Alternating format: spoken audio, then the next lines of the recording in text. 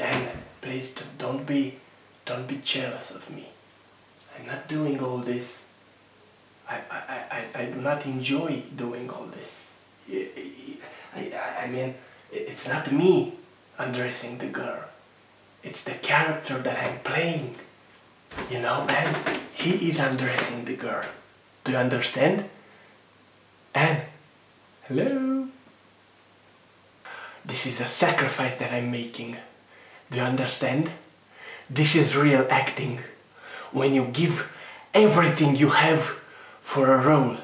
And I'm a great actor and this way you can see you can see now that what that I'm a I I, I am a, oh my god and I'm a I, I deserve you okay I deserve you on all levels I deserve you as a as a as an actor as a as a as a producer, as a director, as a man, and everything, I, I deserve you, Anne. Because I can make, especially now in, in this moment, I deserve you as an actor because I can make this sacrifice for this role.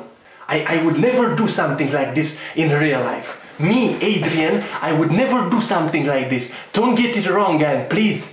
Please understand this, okay? Because I know you can understand because you're an actress. If you do not understand this, then you're not a real actress, but you are a real actress. You're a great actress because I saw your acting and I, I, I, I, I know that you can understand.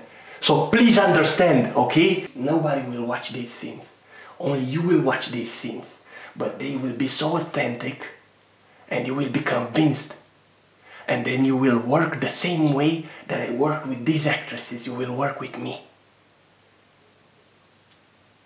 they understand and then people will see will see these sacrifices uh, from you and from me on, on the movie that I'm gonna make with you Be My Cat will see these sacrifices you people will see that we sacrificed everything our whole lives our our whole personal lives for the sake of this movie.